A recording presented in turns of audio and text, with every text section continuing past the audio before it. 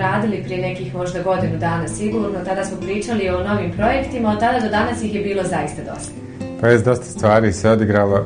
To je bio početak ovog zadnjeg projekta, onaj, ovaj, koji, čiji je rezultat ovaj CD koji je upravo izašao.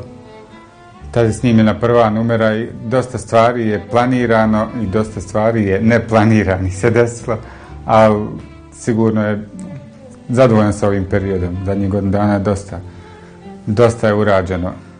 Vi vrlo često nastupate, uglavnom su to nekako a, nastupi sa velikim imenima BiH muzičke scene, vežu vas vrlo često za Miro Medunjanin i e, većina kaže da vi dajete e, njegove sevdalnici posebnu notu zahvaljujući onome što znate na vašoj gitari. Pa da, zaista dugo radimo i to je saradnja koja traje četiri godine i uvijek inspirativno. Onaj, ti naš, naši koncerti su bar za mene uvijek drugačiji na neki novi način i ljudi koji dolaze na koncert daju neku energiju to našoj izvedbi.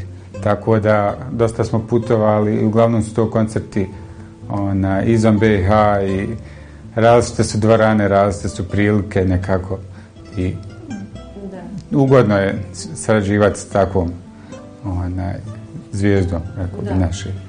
Evo za sedak se nekako vrlo često uh, kao instrument veže saz. A, međutim, ono što Amira radi, ono kakav je sedak pos, posljednjem periodu a, zapravo popularan, jeste ta neka, možda, možemo reći, modernija vrsta mm -hmm. sevdaha. Pa evo za vas, koliko je teško svirati, a, pratiti a, Amiru na, na gitari? Pa, koliko je teško, ili nije nekako sve zavisi šta želite reći s tom muzikom. Prije se drugačije živjelo i taj sazlijski način sviranja kasnije se pojavila i harmonika. Samo po sebi diktira kako se i prati i izvodi se dognik. Ja sam nekako, pošto dolazim iz tog neke iz klasične, klasičnog svijeta, klasične gitare, pokušao sam da primijenim to što sam učio čitav život. Tako da sam onaj, neke stvari koje su standardne bile, e, neki fošpili, uvodi, dijelovi. Pokušao sam da ih predstavi na svoj način, da napiše nešto. Pošto, onaj, I samim tim sam neke dijelove koji su standardni bili, izbacivao, ubacivao nove. To mi je bilo inspirativno. Nekako sam se bavio i sedalinkom, a i muzikom. Mm -hmm. I tražio iz sebe i to smo nekako uklapali u tu izvedbu.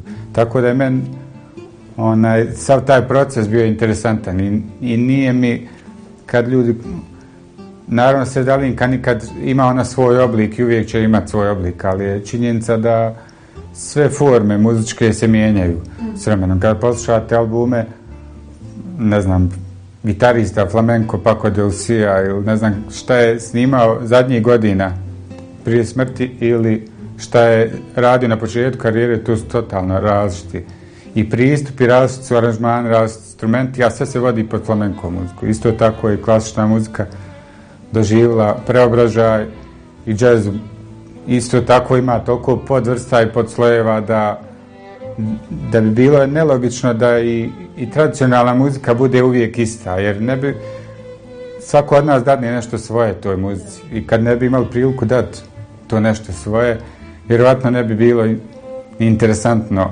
biti dio toga, naravno svirali bi mi to za svoju dušu, ali, da. ali publici bi, ono, zašto pet isti izvođača ili film, zašto da se glumci mijenjaju, a da je sve potpuno isto, N nema smisla. Da.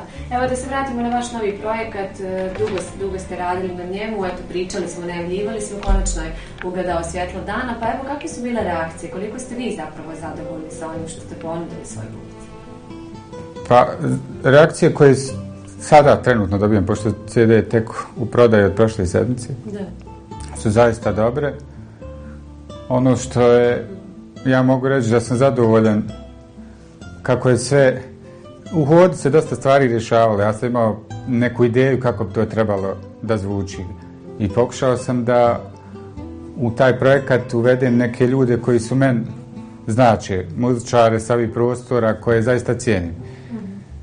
E, naravno, svi mi imamo svoje neke i obaveze, živimo na različitim, u različitim državama, putujemo svi puno i teško je doći do ti ljudi da se u isto vrijeme svi nađemo. Tako da je bilo nekih numera koje su snimljene zaista na neki sretan način, ne znam.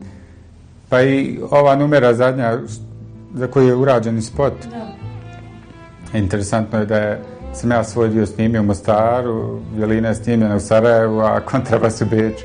A da se kontrabasta i violinista nisi ni upoznao nikad. Ne znam, bilo je ti nekih stvari u hodu koji su...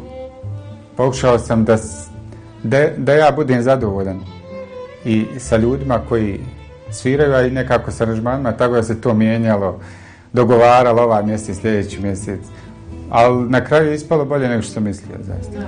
I ekranizacija ove numere koja se zapravo pojavila, koju smo vidjeli, koju će naši gledatelji moći vidjeti, i to je nešto što je, možemo reći, po prvi put a, u Bosni i Hercegovini. Do sada to skoro pa niko nije uradio.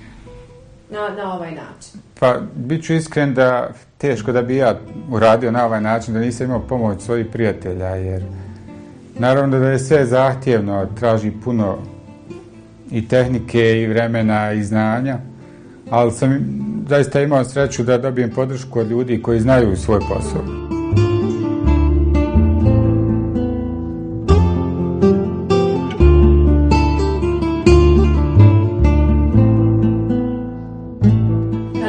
Planirate možda napraviti neku veću promociju ili nešto u vidu toga da šira javnost može sve to vidjeti? Pa planiram prije svega, pošto je izdavač i Aquarius Records koji je u Zagrebu, s njima isto neki su dogovori za promociju u Zagrebu. Pokušat ćemo uraditi u Sarajevu i još neki par promotivnih koncerata, ono što znam da ćemo uh, predstaviti CD u Beču u aprilu. To je ova sad ekipa koja je će na uh, violinista Vanja Radoja, Edin Hadžić kontrabasista, I ja pokušat ćemo, pošto je puno gostiju, volio bih ih spomenuti, ako imam priliku. Onaj, znači, Vanja Radoja svirao violinu, Mustafa Šantić, klarinetista, sjajni, zatim uh, Miro Mima Rafajlović, koji sada živi u Španiji, on je svoj dio snimio u, u Beću, slučajno je bio u tom trenutku. Te neke saradnje su zaista nevjerovatne kako se desile gitarista Ante Gelo isto smo u hodu nešto dogovarali, on je svoj dio snimao u Zagrebu, kontrabasisti Dinko Šimunović, Nenad Vasilić i Edvin Hadžić. To je ta ekipa koja, je, koja učestvuje na CD-u. Naravno sad u promociji i živim nastupima, naravno da ne mogu svi biti tu.